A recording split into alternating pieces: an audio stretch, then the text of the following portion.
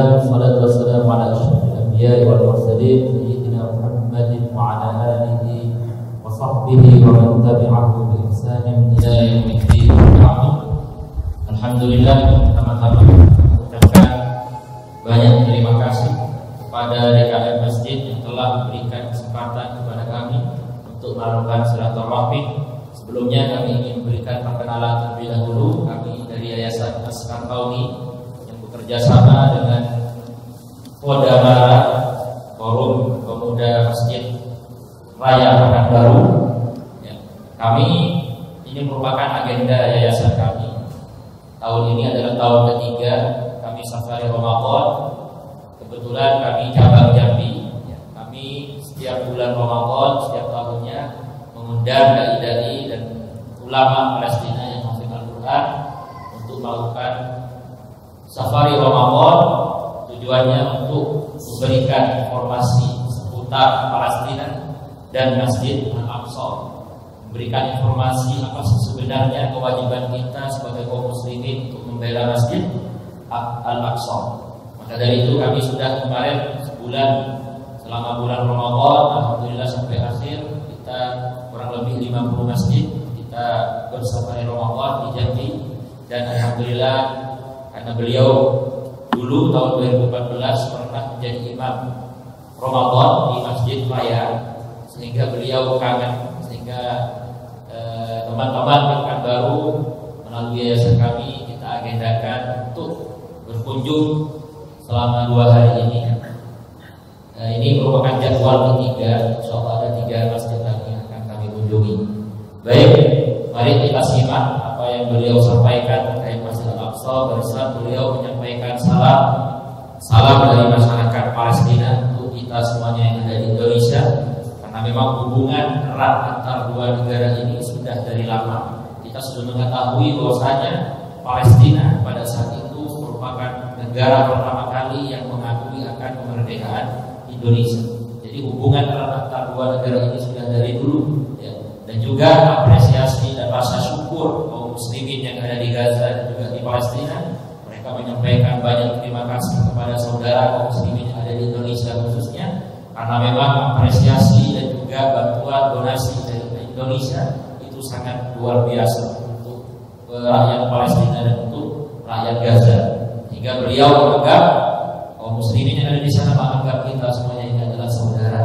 Ya karena luar biasa perjuangan kaum muslimin yang ada di Indonesia dalam membela Masjid Al-Aqsa dengan mengirim beberapa eh, relawan-relawan yang standby di sana untuk memberikan kabar terkait Palestina dan Masjid Al-Aqsa. أيها الإخوة الكرام جئناكم من أرض الرباط والجهاد أرض فلسطين والمسجد الأقصى الأرض التي بارك الله فيها للعالمين التي هي مأوى أفئدة الصالحين والأنبياء التي سكنها نبي الله الخليل إبراهيم عليه السلام وسكنها نبي الله يوسف عليه السلام ودفن فيها وموسى بن عمران ومريم ابنة عمران التي كانت تتعبد الله في المسجد الأقصى المبارك وولدت سيدنا المسيح عيسى عليه السلام. وكذلك يحيى وزكريا كانوا يعبدون الله عز وجل في المسجد الأقصى. كذلك الذي بنى المسجد الأقصى هم نبي الله داود وسليمان عليهما السلام. وإلى أن ختم الله عز وجل الأنبياء برسالة محمد صلى الله عليه وسلم وأسري به من المسجد الحرام إلى المسجد الأقصى التي قال الله فيها في كتابه الكريم بعد أن أعوذ بالله من الشيطان الرجيم. بسم الله الرحمن الرحيم. سبحان الذي أسرى بعبده ليلا من المسجد الحرام. من المسجد الحرام إلى المسجد الأقصى الذي باركنا حوله لنريه من آياتنا إنه هو السميع البصير.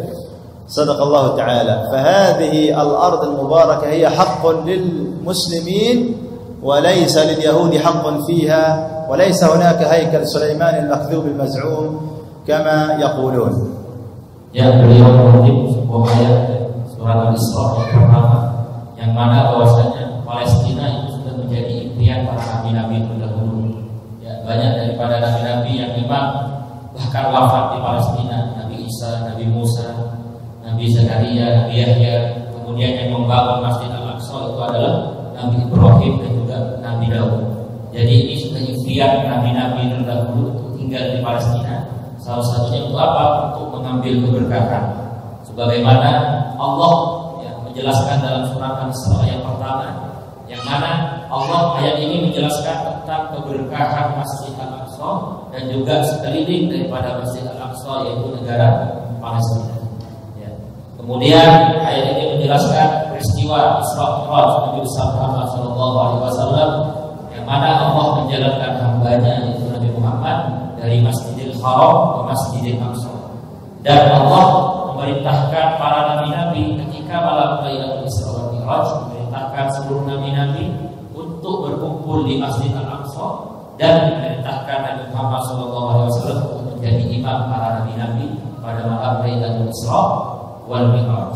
Sebelum pada akhirnya beliau menghadap menghadap Allah ke Sidratul Muntaha dari dalam Qura dan pada saat itulah Mendapatkan eh, apa namanya perintah pelaksanaan sholat lima waktu sehingga pada saat itu juga Masjid Al-Aqsa menjadi menjadi kiblat kaum muslimin kurang lebih 17 bulan kaum muslimin berkiblat ke Masjid Al-Aqsa sebelum pada akhirnya Allah memerintahkan Nabi Muhammad untuk berkiblat ke Ka'bah. Jadi sudah jelas dari segi ayat salah satu ayat yang paling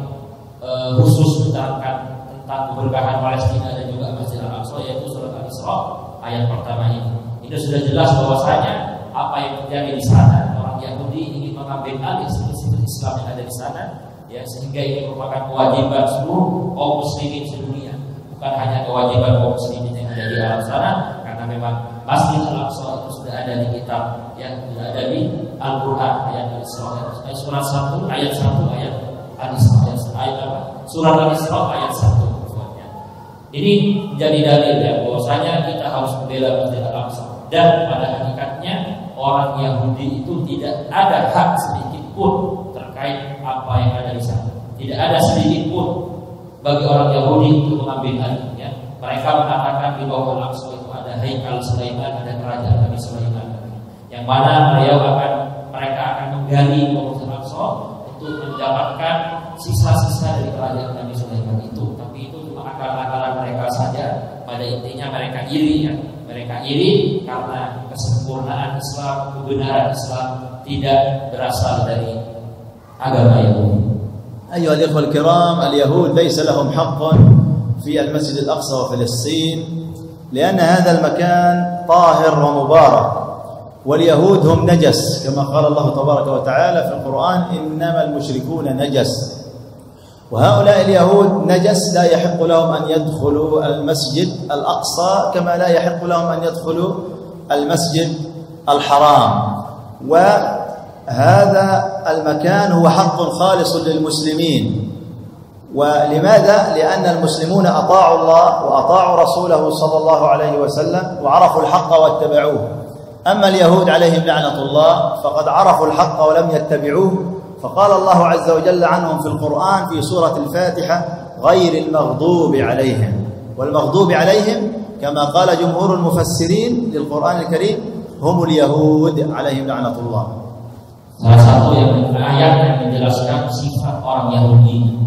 Kenapa orang Yahudi itu datang dari belahan dunia pergi ke Palestina satu tujuannya untuk mengambil alih bumi Palestina bahkan mengambil alih bahkan menjadikan situs-situs keislaman yang ada di sana dijadikan situs agama Yahudi.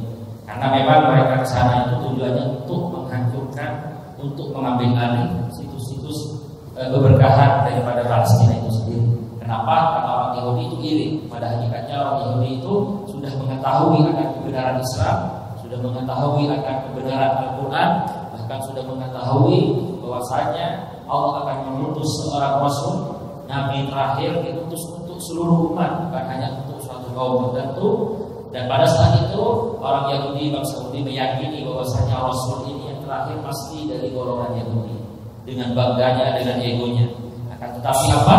Rasulullah SAW bukan dari bangsa Yahudi melainkan dari bangsa Quraisy. Pada saat itulah orang Yahudi bahkan mengatakan Allah itu tidak ada yang seharusnya kebenaran ini ada harus datang dari agama Yahudi dengan egonya. Jadi intinya mereka tuh iri dengan kaum muslimin, ego, mengetahui kebenaran, tapi mereka tidak menginginkan, tapi mereka mengingkarinya. Inilah disebutkan dalam surat Al-Fatihah, ya, tafsir surat Al-Fatihah. Kalau kita baca terjemahannya, ihdinas siratal ihdinas siratal mustaqim, siratal ladzina an'amta 'alaihim. Ya Allah, tunjukilah kepada kami jalan yang kau ridhoi atau agama yang kau ridhoi. Apa itu? Yaitu agama agama Islam.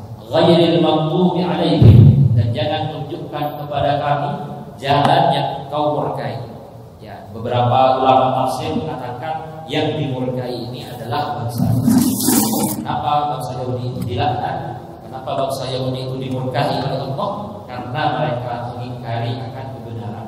Mereka mengetahui kebenaran tapi karena iri karena egonya tinggi, mereka menutup akan kebenaran ini. Inilah sifat orang Yahudi. Sehingga orang Yahudi itu tidak ada hak sedikit masuk ke Masjid Al-Aqsa karena orang Yahudi itu adalah musyrik dan orang musyrik itu najis dalam Al-Quran disebutkan. Tidak boleh masuk ke masjid. Ya, termasuk Masjidil Haram, Masjid Nabawi itu tidak boleh. Tapi apa yang terjadi sekarang? Mereka dengan leluasa masuk ke Masjid Al-Aqsa, bahkan menghalang-halangi kaum muslimin yang melaksanakan صلاة في مسجد الأقصى في الحديث الصحيح أيها الإخوة الكرام أن النبي صلى الله عليه وسلم قال لا تقوم الساعة حتى يقاتل المسلمون اليهود. فيختبئ اليهودي وراء الحجر والشجر. فينادي الحجر والشجر يا مسلم يا عبد الله هذا يهودي خلفي تعال فاقتله. إلا الغرقد فإنه من شجر اليهود. أو كما قال صلى الله عليه وسلم لا تقوم الساعة أي لا يأتي يوم القيامة إلا وقد انتصرنا على اليهود وأعيدت الخلافة على منهاج النبوة وهذا قبل يوم القيامة بسنوات كثيرة. وينادي الحجر والشجر. لماذا ينادي الحجر؟ لأن اليهود هم أعداء للحجر يهدمون الحجر ويقتلعون ويخرجون الشجر من الأرض. يا مسلم يقول النبي صلى الله عليه وسلم يا مسلم هذا يدل على أن فلسطين والمسجد الأقصى وبلاد الشام ليست مسؤولية الفلسطينيين وحدهم. ليست من مهمة الفلسطينيين وحدهم ولكنها مسؤولية المسلمين جميعا في أمة محمد صلى الله عليه وسلم.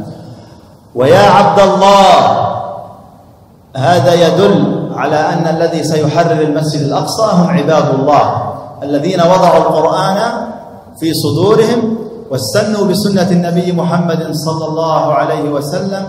هؤلاء هم جيل النصر والتمكين. Beliau mengutip sebuah hadis yang mana hadis ini artinya tidak akan datang hari kiamat sehingga kaum muslimin ini bersatu melawan orang Yahudi dan kita menang terhadap orang Yahudi kan. Jadi hari kiamat akan datang ketika kaum muslimin sudah mengambil alih lagi bumi Palestina, sudah mengambil alih lagi Al-Aqsa dari orang-orang Yahudi. Selama ini Palestina 90% sudah dikuasai oleh orang Yahudi. Ya, ada di bagian barat, tempat Masjid Al-Aqsa itu ada di bagian barat. Sehingga kota Gaza itu adalah satu-satunya kota yang dipisah orang-orang Yahudi di bagian timur. Gaza itu satu-satunya kota yang belum terjajah oleh orang Yahudi. Kenapa? Orang Yahudi sudah pernah masuk Gaza, tapi karena perlawanan yang sangat kuat, dari para kaum mujahidin, dari Hamas, Al-Qassam dan lain semacamnya, mereka itu tidak tahan tinggal di kota Gaza sehingga mereka pindah ke bagian barat. Bagian barat itu ada Al-Quds, Yerusalem, kemudian Masjid Al-Aqsa. Dan beberapa kota di bagian barat sudah dikuasai oleh orang Yahudi. Tinggal kota Gaza di bagian timur yang belum dikuasai oleh orang Yahudi. Sehingga yang paling banyak diserang itu kota Gaza karena mereka sampai sekarang ingin mengambil alih kota Gaza kan tapi tidak bisa karena pertahanan bentengnya sangat kuat. Jadi beliau hadis ini menjelaskan bahwasanya kita akan bersatu melawan orang Yahudi. Dan ini dekat tidak lama lagi insya Ayat ini ketika itu orang Yahudi melihat persatuan kaum muslimin ya, melihat persatuan kaum muslimin melawan orang Yahudi mereka ketakutan, mereka bersembunyi di belakang pepohonan dan juga bersembunyi di belakang bebatuan akan tetapi pepohonan dan juga bebatuan ini ya, mereka juga merasa terwalimi atas tindakan orang Yahudi. Sehingga berserulah. Pepohonan itu berseru kepada kaum muslim yang ada di depannya ya muslim ya Abdullah wahai kaum muslim wahai hamba Allah yang ada di belakang yang ada di depan saya kembalilah. Orang Yahudi ada di belakang saya bersembunyi maka bunuhlah dia. Ya kata-kata ya muslim ini menjadikan dalil bahwasanya Palestina dan Masjid Al-Aqsa itu merupakan tanggung jawab kaum muslimin seluruh dunia, bukan hanya tanggung jawab kaum muslimin yang ada di Palestina saja ya. Tanggung jawab kaum muslimin yang menghilangkan penyakit wahan Karena kita diuji dengan penyakit wahan. Apa itu penyakit wahan?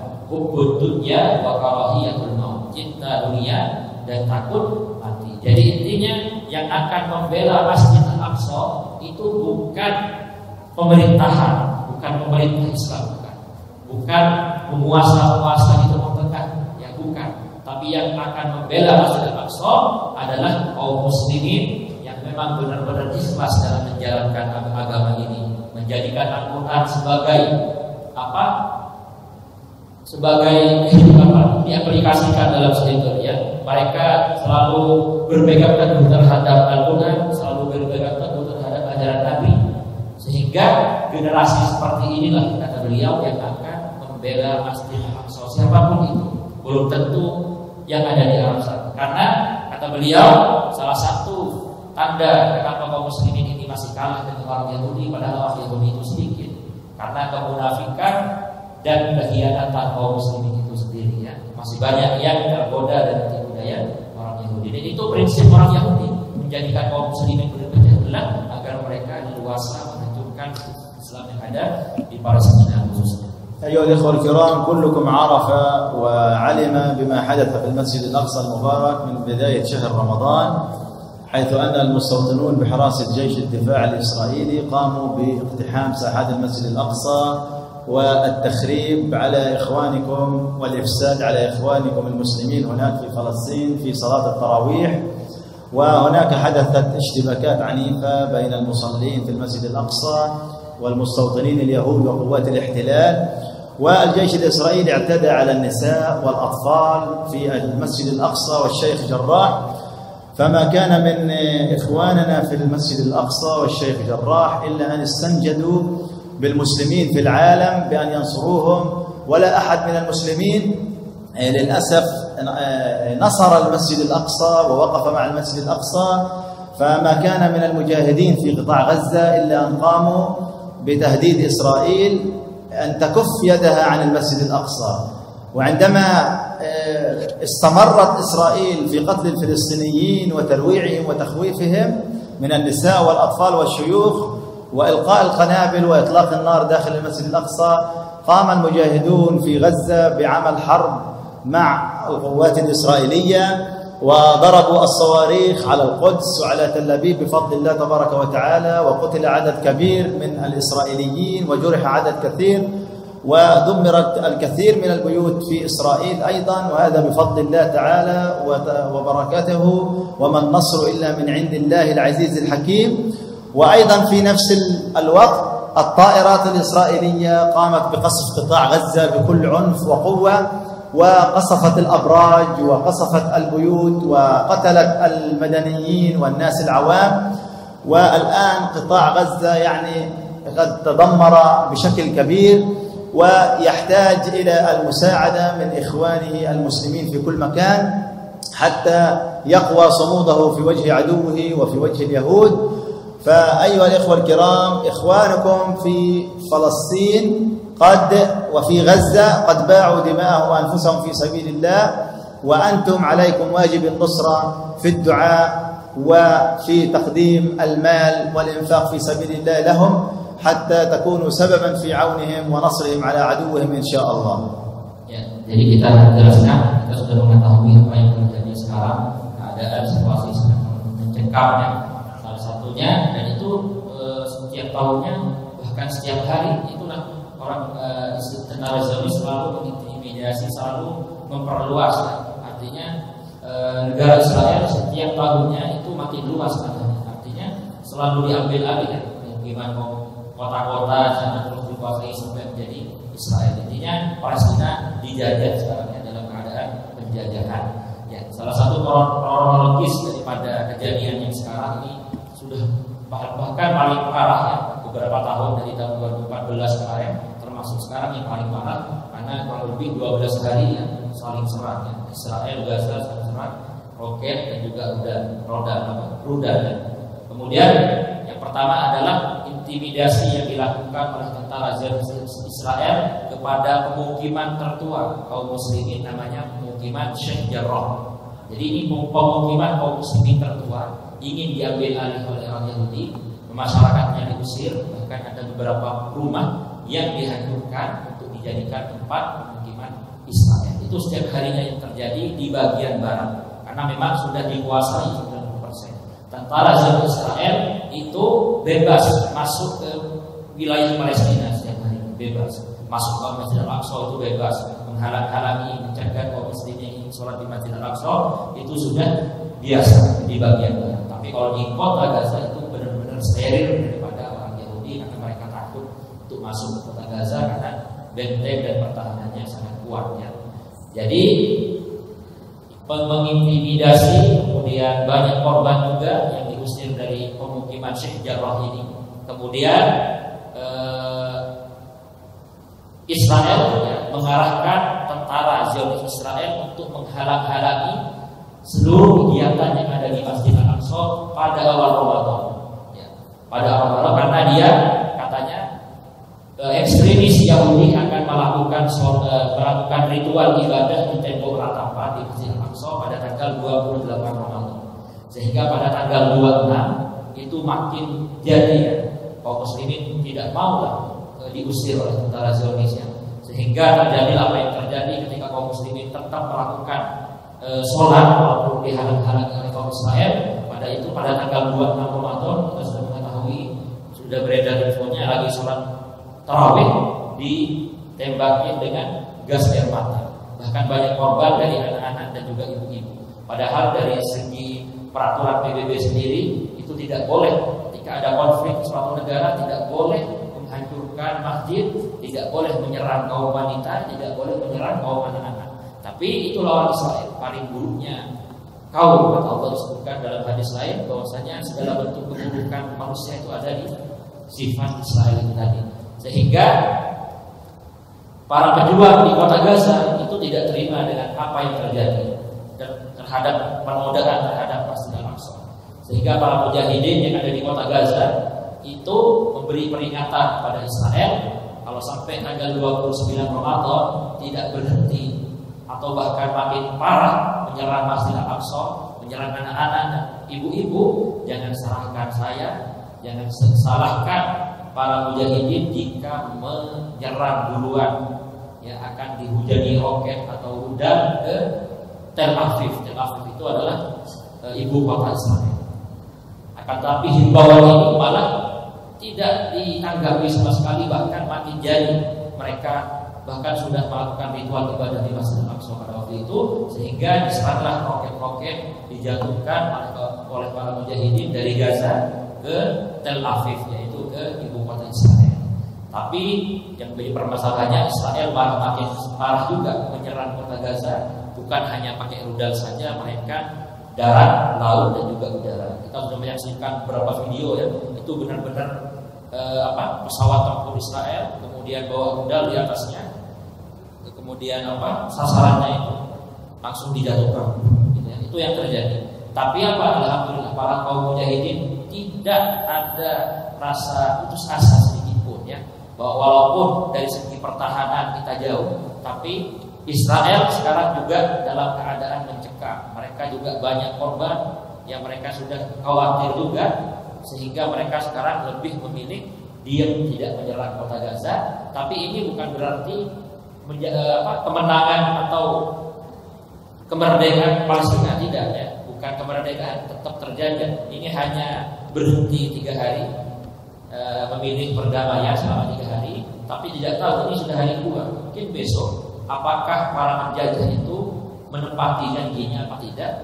Kata kaum mujahidin, kalau besok masih ada intimidasi dan serangan lagi, jangan serahkan lagi, jangan salahkan jika Tel Aviv nanti akan dihujani rudal. Kita nggak tahu besok ini. Bang Oni tadi live ya, kita dengarkan bahwa itu relawan Palestina, relawan Indonesia yang tinggal di jalur Gaza dan beliau selalu update tentang apa yang terjadi di sana. Itulah yang terjadi kronologisnya. Maka dari itu kaum muslimin yang di sana luar biasa perjuangannya, ya memberikan bahkan bukan hanya harta, bukan hanya rumah yang mereka tinggalkan demi membela Masjid Al-Aqsa, bahkan dirinya sudah diwakafkan ya.